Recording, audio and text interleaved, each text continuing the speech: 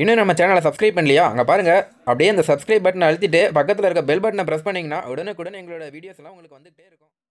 Hello friends welcome back Spain news channel எனக்கு இந்த வீடியோவில் பார்த்தீங்கன்னு வச்சுக்கோங்களேன் மிக மிக முக்கியமான ஒரு ஆன்மீக குறிப்பை தான் இப்போ இந்த வீடியோவில் அதிரடியாக நாம் பார்க்க போகிறோங்க நாளை நாள் சாதாரண நாள் கிடையாதுங்க. நாளை நாள் தேதி கிழமை கிழமையில் இருக்கக்கூடிய அந்த சிறப்பை ஃபஸ்ட்டு சொல்லிடுறேன்.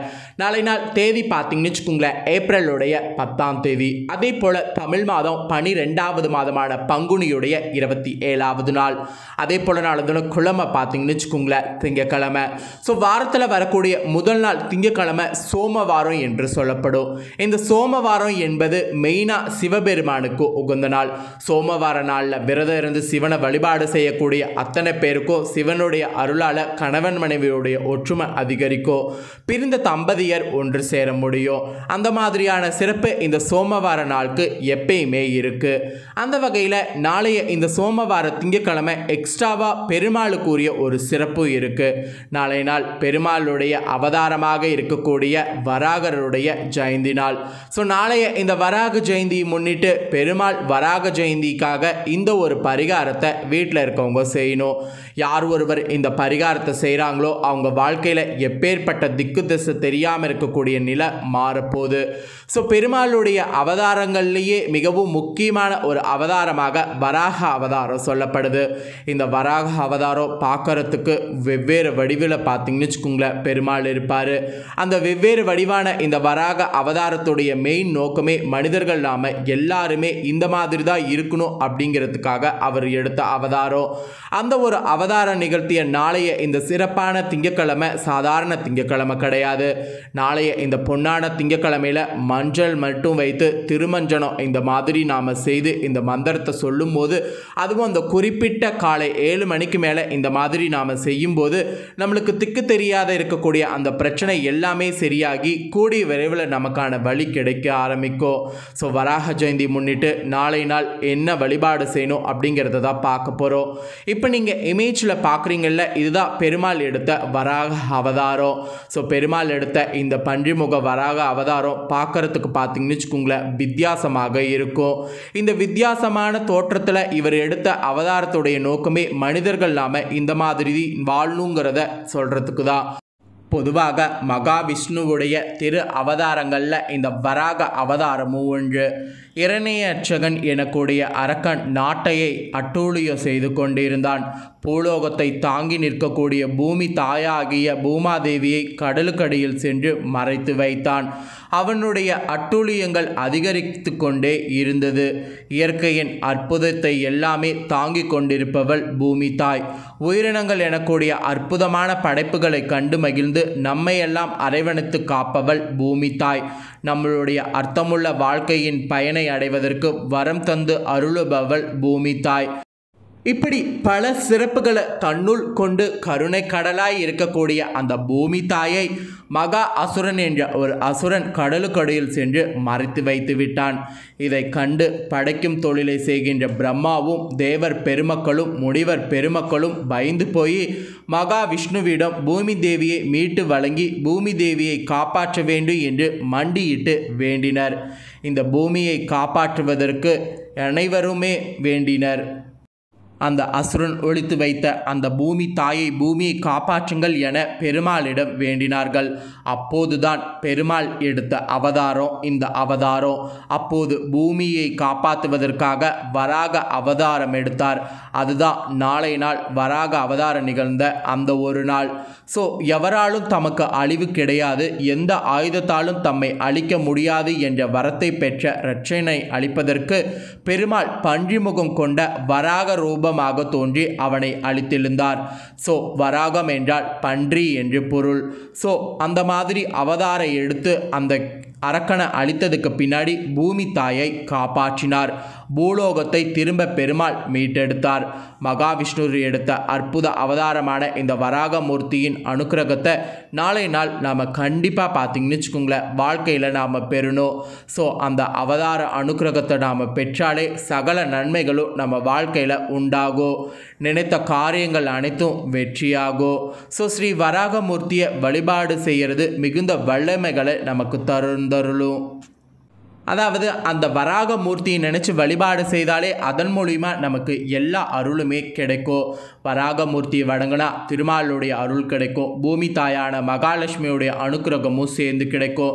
நம்ம நினைத்து வேண்டிக்கூடிய அத்தனை காரியங்களும் அனைத்துக்குமே பார்த்திங்கன்னு வச்சுக்கோங்களேன் சக்தி வீரியமாகி அது வெற்றியை வந்து கொடுக்கும். ஸோ வராக பெருமாளை நாளை நாள் எந்த மாதிரி வழிபாடு செய்யணும் அப்படிங்கிறத இப்போ ஷேர் பண்ணுறேன் தெளிவாக நோட் பண்ணுங்கள் ஸோ நாளை நாள் உங்களுடைய வீடுகள்லேயே வராகரை நீங்கள் வழிபாடு வந்து செய்யலாம் ஸோ வீடு வாசல் பூஜரை எல்லாமே வந்து நாளை நாள் சுத்தப்படுத்திக்குங்க. எந்த ஒரு பூஜை செய்கிறதா இருந்தாலும் ஃபஸ்ட்டு செய்ய வேண்டிய விஷயம் வீடு வாசல் பூஜரை எல்லாமே சுத்தப்படுத்திக்கிறது தான் ஸோ சுத்தப்படுத்திட்டு நாளை நாள் மஞ்சள் கொண்டு திருமஞ்சனம் வராகருக்கு நாம் செய்யணும். ஸோ வராகருடைய ஃபோட்டோ இருந்ததுன்னா வராகருடைய ஃபோட்டோ வைத்து இந்த வழிபாடு செய்யணும். ஒருவேளை வராகருடைய ஃபோட்டோ இல்லை அப்படிங்கிற பட்சத்தில் பெருமாளுடைய ஃபோட்டோ இருந்ததுன்னா பெருமாளுடைய ஃபோட்டோவில் இந்த திருமஞ்சனம் செய்யணும்? என்ன பண்ணும் அப்படின்னா காலையில் எந்திரிச்சு நாம் குளித்து முடிச்சுட்டு பூஜரையில் பெருமாள் படத்துக்கு முன்னாடி அமர்ந்து மஞ்சள் பார்த்திங்கன்னு வச்சுக்கோங்களேன் ஒவ்வொன்றாக நாம் கட்டணும். ஸோ மஞ்சளை ஒவ்வொன்றாக நாம் கட்டி அதை ஒரு மாலையாக ரெடி பண்ணிக்கணும். ஸோ இப்போ மாலையாக ரெடி பண்ண இந்த திருமஞ்சனத்தை அப்படியே பூஜரையில் இருக்கக்கூடிய பெருமாளுக்கு சாத்தணும். ஸோ பெருமாளை நாளை நாள் வராகருடைய அவதாரமாக நினைத்து கொண்டு பெருமாளுக்கு அந்த மாலையை வந்து சாத்தணும். சாத்தினதுக்கு பின்னாடி விளக்கேற்றி பெருமாளுக்கு ஏதாவது நெய்வேத்தியம் பண்ணி அந்த நெய்வேத்தியத்தை வெத்தலை பாக்கோடு வைத்து படைக்கணும்.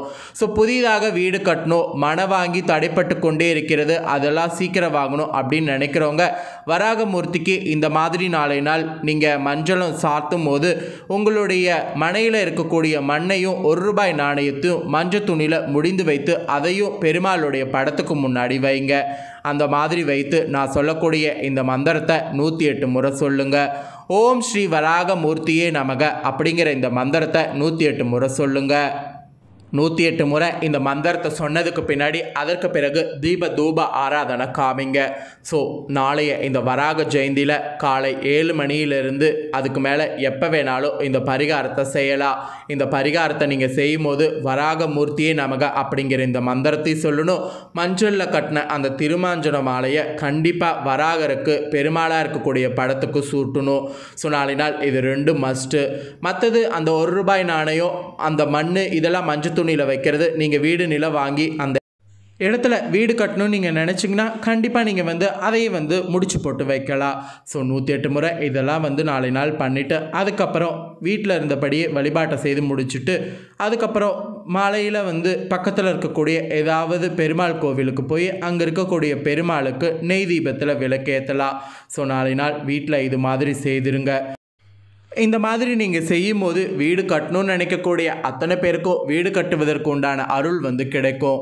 ஸோ வராகரருடைய ஜெயந்தியை முன்னிட்டு நாளை நாள் வராகருக்கு திருமஞ்சனம் செய்தால் வாழ்வெல்லாம் வளமாகும் என்பதை நீங்கள் தெரிஞ்சுக்கணுங்கிறதுக்காக தான் இன்றைக்கி இந்த வீடியோவில் திருமஞ்சனத்தை பற்றி வீடியோவை வந்து ஷேர் பண்ணேன் அதாவது தாள்களை இந்த வீடியோவில் வந்து ஷேர் பண்ணேன் ஸோ அந்த திருமஞ்சனம் செய்யப்பட்ட அந்த மஞ்சளை அதை நீங்கள் அதுக்கப்புறமா பார்த்தீங்கன்னு வச்சுக்கோங்களேன் அதை நல்லா தூளாக்கி உங்களுடைய சமையல்களுக்கு பயன்படுத்துகிறதா இருந்தால் பயன்படுத்தலாம். ஸோ அந்த மஞ்சளை வேஸ்ட் பண்ணாமல் நீங்கள் பயன்படுத்திக்கிறதா இருந்தால் எதுக்கு வேணாலும் பயன்படுத்தலாம். ஒன்றும் தப்பு கிடையாது. அதே போல் வராகருடைய இந்த ஃபோட்டோ உங்கள் வீட்டில் இருந்ததுன்னா வராகருடைய ஃபோட்டோ வைத்தே வழிபாடு செய்யுங்க. நெய்வேத்தியம் உங்களோட விருப்பம்தான். இதுதான் செய்யணும் அதுதான் செய்யணும் அப்படிங்கிறதெல்லாம் சொல்லலை. உங்களுக்கு என்ன விருப்பமோ அதை வந்து செய்யலாம். அதே போல் நாளைய இந்த வராகருடைய இந்த நாள் அன்னைக்கு நீங்கள் யாருக்காவது ஒருவருக்கு வயதானவர்களுக்கு ஆடைகள் வந்து தானமாக கொடுக்கணும். அதுவும் வயதானவர்களாக இருக்கக்கூடிய தாத்தா மாதிரி இருக்கக்கூடிய வயசில் இருக்கிறவங்களுக்கு ஆடைகள் வந்து தானமாக கொடுக்கணும். அவங்க யூஸ் பண்ணுற ஆடைகள் அவங்க யூஸ் பண்ணுற ஏதாவது பொருள் நீங்கள் தானமாக ஒருவருக்கு கொடுத்தா கூட அது அளவற்ற புண்ணியத்தை வந்து கொடுக்கும். உங்களில் நிறைய பேருக்கு அது தெரியாமல் இருக்குது ஸோ அப்படி தெரியாதவங்க நாளை நாள் இதை தெரிஞ்சு மறக்காமல் ஒருவர் ஒருவருக்காவது கொடுத்துருங்க. நிச்சயம் நீங்கள் கொடுக்கக்கூடிய அந்த ஒரு ஆடை தானம் உங்கள் வாழ்க்கையில் எல்லா வளத்தையுமே கொடுக்கும். மறக்காமல் அதையும் செய்திடுங்க. இந்த வீடியோவை நீங்கள் இப்போ பார்த்து முடிச்ச உடனே இதை லைக் பண்ணி உங்கள் ஃப்ரெண்ட்ஸ் ஃபேமிலிக்கு ஷேர் பண்ணுங்கள் உங்கள் ஃப்ரெண்ட்ஸ் ஃபேமிலியில் இருக்கவங்களும் வராக ஜெயந்தியை பற்றி தெரிஞ்சு அவங்களும் நாளை நாள் வராக ஜெயந்தியில் என்ன பண்ணும் அப்படிங்கிறத தெரிஞ்சு பண்ணட்டும். மேலும் இதே போல் புதிய அப்டேட்டான தகவல்களை தெரிந்து கொள்ளும் நீங்கள் நினச்சிங்கன்னா இது வரைக்கும் நம்ம சேனலை சப்ஸ்கிரைப் பண்ணாமல் இருந்தீங்கன்னா சப்ஸ்கிரைப் பண்ணுங்கள் கூடவே பெல் பண்ண ப்ரெஸ் பண்ணுங்கள் அதை நீங்கள் பண்ணிட்டீங்கனாவே நான் போடுற அப்டேட்டான எல்லா வீடியோஸும் உடனுக்குடனே தெரிஞ்சுக்கலாம். ஸோ மறக்காமல் சப்ஸ்கிரைப் பண்ணாதவங்க சப்ஸ்கிரைப் பண்ணி பெல் பண்ண ப்ரெஸ் பண்ணிடுங்க சுவாரஸ்யமாக வேறொரு புதிய அப்டேட்டான தாள்களோடு மீண்டும் இன்னொரு புதிய வீடியோவில் வந்து உங்களை சந்திக்கிறேன். நன்றி வணக்கம்.